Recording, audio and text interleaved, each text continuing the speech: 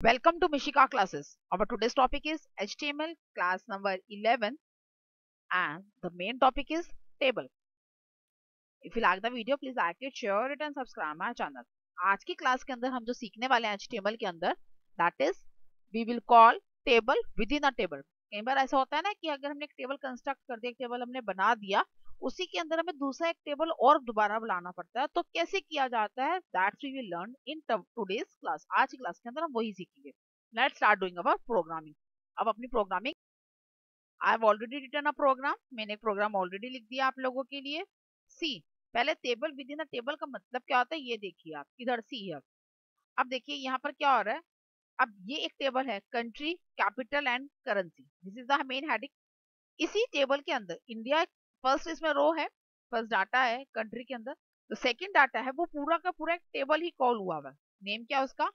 Country capital and currency okay अब इसको हम लोगों ने कॉल करवाया है। क्या कॉल करवाया? इसको हमने कॉल करवाया।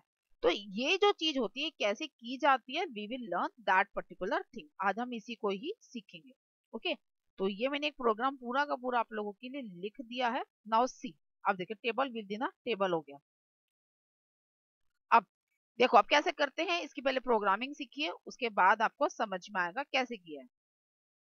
सबसे पहले है डॉक्यूमेंट टाइप कॉल कर रही है वर्जन कॉल करा, उसके बाद एचटीएमएल कॉल किया then head after that styling क्योंकि मेन जो हमारा जो भी स्टाइलिंग की जाती है, वो स्टाइल में ही की जाती है। तो पहला हमारा हेडर कौन सा है? टेबल टी एच और टी डी इसके अंदर मैंने बॉर्डर का साइज़ भी सेट कर रखा है थ्री पी एक्स का। आज मैं थ्री पी एक्स की जगह इसको साइज़ को रिड्यूस करके वन पिक्सल का कर रही हूँ। और ग्रीन कलर की जगह मैं इसमें जो चेंज करके कलर कर रही हूँ दैट इज़ ऑरेंज उसके बाद बॉर्डर कोलैप्स कोलैप्स करने की जगह मैं आज दे रही हूँ इसमें सेपरेट बॉर्डर कोलैप्स क्या दे दी मैंने? सेपरेट ओके उसके बाद क्लोज कर दिया then T H T D padding दे दी साइज़ पैडिंग का साइज़ मैंने दिया फाइव पिक्सल का. Text alignment centre text alignment centre set कर दिया, मैंने जो भी डाटा है मेरा वो सेंटर अलाइनमेंट में और एक और चीज़ मैंने आज कॉल करी that is a table dot centre what this is इसको क्या कहते हैं? It is called a class यानी कि यहाँ पर हमने क्लास बनाई है टेबल क्लास के नाम से। क्लास में क्या नेम दिया? Name of the class is centre what the name of the class that is centre table dot centre अच्छा मैंने क्या सेट किया था? मार्जिन का जो लेफ़्ट का है दैट इज़ अगेन ऑटो और जो राइट मार्जिन है, वो भी क्या हो? ऑटो हो। अब आपका समझ में आएगा, जब हम कॉलिंग कर रहे हैं तो बाद में मैं इसको साइज़ को इंक्रीज कर दूँ सो दैट कि आपको प्रॉपरली विजिबल हो जाए कि क्या डिफरेंस है। उसके बाद स्टाइल करा देन टाइटल टाइटल का नेम वेलकम दिया हेड और यहाँ पर मैंने सियान कलर की जगह, जो मैंने अपना कलर है दैट इज़ ऑल्सो मैं अब चेंज करने वाली हूँ, और उसका नाम मैंने क्या दे दिया that is green colour background colour मैंने क्या दे दिया ग्रीन कलर दे दिया। आफ्टर अलाइनमेंट सेट की, that is welcome. First alignment is welcome, second alignment is mishika classes today we are going to learn the how to modify the tables or we call the table into a table. Now st alignment set key that is next is table. उसके बाद table class अब class को call कैसे किया जाता है? जो भी क्लास का नेम होगा, वो आप यहाँ लिखोगे. सी यहाँ पर जो हमें नेम दिया that is small C small E and T E R all are small letters caps off में है. तो यहाँ पे जब भी हम क्लास नेम कॉल करेंगे, वो भी सेम लेटर्स में होगा. Small C small E small N small T small E small R सब कुछ स्मॉल में होगा.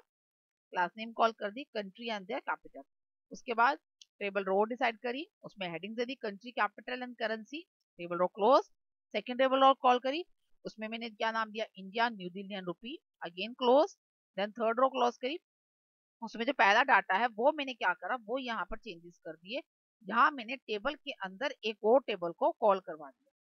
Table within a table third data जो था थर्ड जब डाटा मैंने देना था उस डाटा में थर्ड रो जो थी, उसमें जो फ़र्स्ट डाटा था, उसमें मैंने क्या दिया? टेबल टेबल एक पहला कॉल करा, उसके बाद टेबल रो उसके बाद तीन हेडिंग दे दी, उसकी क्लोज कर दिया। टेबल रो के बाद सेकंड रो क्लोज करी, उसके बाद क्लोज करके बंद कर दिया। और उसके बाद मैंने दो डाटा जोड़ दे दी that is Washington DC in dollar क्योंकि एक डाटा तो मेरा ये हो चुका है जो टेबल है, और दो और मैंने दे दिए।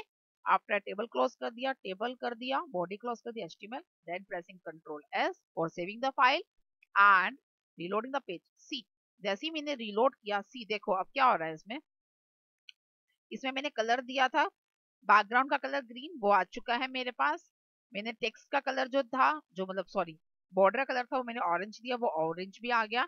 बॉर्डर कोलैप्स सेपरेट दिया था, मैं चाहती नहीं थी कि आज अलग अलग ही मुझे हाईलाइट हो तो मैंने सेपरेट दे दिया।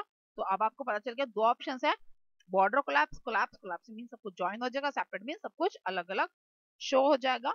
आई एम यहाँ पे थोड़ा मैं जूम इन कर रही हूँ सो देट आपको प्रॉपरली विजिबल हो जाए। देखो सेपरेट हो रहा है ना विजिबल नाउ अगेन मैं आप जूम आउट कर देती हूँ इसको। उसके बाद जूम आउट करने का रीजन क्या है आपको अभी समझ में आ गया? यहाँ पे मैंने सेंटर क्लास का नेम कॉल किया था सेंटर का। तो यहाँ पर देखो, जो मैंने ऊपर स्पेलिंग दी थी, ये देखो। ये वाली जो स्पेलिंग थी और ये वाली स्पेलिंग सेम होने की वजह से ही ये सेंटर में टेबल आ रहा है। जैसे मैं स्पेलिंग में चेंजेस करती हूँ, मैं सिंगल लेटर का चेंज करती हूँ और लेटर में भी चेंज क्या करती हूँ, बस कैप्स ऑफ़ कर हूँ। कैप्स ऑन कर दी सी जो है कैपिटल कर दिया। After reload the page see difference पता चल गया आपको, जैसे ही कि मतलब क्या हुआ, जो क्लास नेम है that is a case sensitive class name क्या है हमारा? केस सेंसिटिव है। केस सेंसिटिव का मतलब क्या होता है कि कैपिटल कैपिटल होता है स्मॉल स्मॉल होता है। अब उसमें मैंने सारे लेटर स्मॉल दिए थे। यहाँ जब मैंने स्मॉल दे रखा तो वो सेंटर में ही लाई कर रहा था। बट जैसे ही मैंने उसको कैपिटल कर दिया फ़र्स्ट लेटर कैपिटल कर दिया तो वैसे ही उसने सेंटर में से क्या हो गया, वो वापस बाय डिफ़ॉल्ट वाली सेटिंग होगी that is a left alignment और अगेन मैं अब सेंटर में स्मॉल कर रही हूँ सो दैट वो सेंटर में लाई कर जाए। क्लियर हो गया? अब बात की जाती है टेबल के विधि ना टेबल जो कॉल की जाती है, वो कैसे किया जाता है? सी। दिस ये देखिए, अब आपको क्लियरली पता चलेगा कि क्या हो क्या रहा है यहाँ पर। मैंने डाटा को क्लोज वो कर दिया डिलीट कर दिया यहाँ से जो फ़ाइल थी और यहाँ मैंने बाय डिफ़ॉल्ट वाले जो मैंने पहला डाटा दैट इज़ यूएसए क्योंकि कंट्री का नेम यूएसए है सी कैपिटल वॉशिंगटन डीसी है और डॉलर उसके वो है। यहाँ पे मैंने डाटा को क्लोज करा आफ्टर कंट्रोल एस किया and the saving the file file को सेव किया। फ़ाइल सेव होती देखो यूएसए आ गया। अब मैंने क्या किया था, इस पर्टिकुलर डाटा को जो था मैंने रिप्लेस कर दिया था। क्या कर दिया था मैंने इसको? रिप्लेस कर दिया था किससे? एक और डाटा के साथ। उस डाटा के साथ जैसे ही मैंने रिप्लेस किया after that I am closing the data data को रिप्लेस कर दिया डाटा को क्लोज कर दिया। नाउ अब कंट्रोल एस किया। और मैंने क्या कर दिया? जैसे ही रीलोड किया पेज को तो टेबल इंसर्ट हो गया। तो वो डाटा जो है, जो पूरा का पूरा जो टेबल है, ये एज अ डाटा कंसिडर हो रहा है ओके अगर मैं चाहती हूँ कि भैया मेरा जो कंट्री कैपिटल और वो सब कुछ है, वो एम्प्टी रहे मतलब वो थर्ड रो में आ जाए तो यहाँ पर मुझे डाटा जो है वो नेक्स्ट रो के अंदर क्लियर आउट देनी पड़ेगी। ई कॉल करी, उसके बाद एम्प्टी कॉल करवा दी। अगेन एक और रो क्लो कॉल करी, और अगेन उसके बाद अगेन मुझे एक और क्लोज करवा दी। नेक्स्ट अगेन एक रो कॉल करवाई मैंने। और उसके बाद एक डाटा दिया that is USA the name of the country that is USA USA and data को क्लोज कर दिया। जैसे मैं अब ये करूँगी see what will happen see अब वो मैंने एम्प्टी कर दिए थे। ये देखो, ये दोनों के दोनों, जो मैंने फ़र्स्ट वाले में तो मैंने जो फ़र्स्ट डाटा था, उसमें तो मैंने टेबल इंसर्ट पा दिया। सेकंड दोनों डाटा को मैं खाली चाहती हूँ कि भैया यूएससी की जो इन्फॉर्मेशन वो एक्चुअली वॉशिंगटन डीसी और डॉलर वो इस पर्टिकुलर टेबल की इन्फॉर्मेशन तो नहीं है। वो एक अलग से ही हमारी ऑप्शन है। तो उसके लिए हम क्या करते हैं, वो हम लोग क्या करेंगे, ऐसी केसेस के अंदर हम लोग उसमें सेल खाली छोड़ देंगे। डाटा को मैंने क्या कर दिया एम्प्टी छोड़ दिया मतलब कोई इन्फॉर्मेशन ही नहीं दी है। अगर कोई इन्फॉर्मेशन नहीं रही है तो क्या करेगा, वो नेक्स्ट रो का ही एलिमेंट कंसिडर होगा ओके तो इस तरीके से हमारा जो डाटा है, वो है कॉल किया जाता है। सी अब मैंने क्या किया? अब मैंने यहाँ से वो जो टेबल डाटा के अंदर जो एम्प्टी डाटा था, वो मैंने उसको इरेज ही कर दिया। जैसे मैंने उसको इरेज करके कंट्रोल एस करके रीलोड किया पेज तो यहाँ से वो जो सेल्स बने हुए थे, वो भी ऑटोमेटिकली क्या हो गए? इनविजिबल हो गए, खत्म हो गए हैं। अब वो डाटा की तरह कॉल नहीं कर रहा है। ठीक है? तो इस तरीके से हम जो अपने डाटा टेबल के अंदर विद इन टेबल अगर हमें कॉल करना तो कैसे किया जाता है? वो ऐसे ही किया जाता है। क्लियर दोबारा बता रही हूँ। See listen it very carefully सबसे पहले हमने क्या किया था? Table within table call करवाया। अगर मैं टेबल के अंदर टेबल कॉल करूँ तो that will always enter in your data data के अंदर एंटर होगा। रो के अंदर नहीं होगा हेड के अंदर नहीं होगा, किसी भी चीज़ के अंदर नहीं होगा। जो टेबल विद इन टेबल होता है, वो हमेशा किसके अंदर आता है? टेबल डाटा ऑप्शन के अंदर टी डी के अंदर जाता है। टी डी हेड फ़ाइल के अंदर जाता है हमारा, जितना भी डाटा होता है टेबल होता है।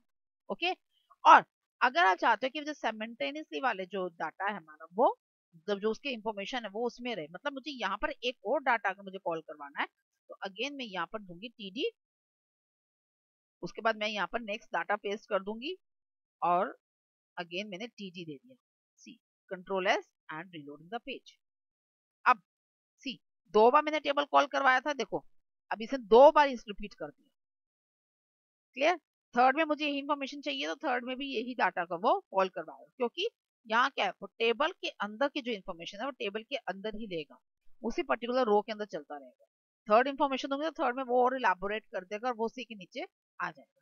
इस तरीके से आप टेबल के अंदर टेबल जितने चाहो, उतने टेबल आप कॉल करा सकते हो। जैसे मैंने भी दो टेबल्स कॉल करवाए हैं, आप दो से ज़्यादा भी कॉल करवा सकते हो।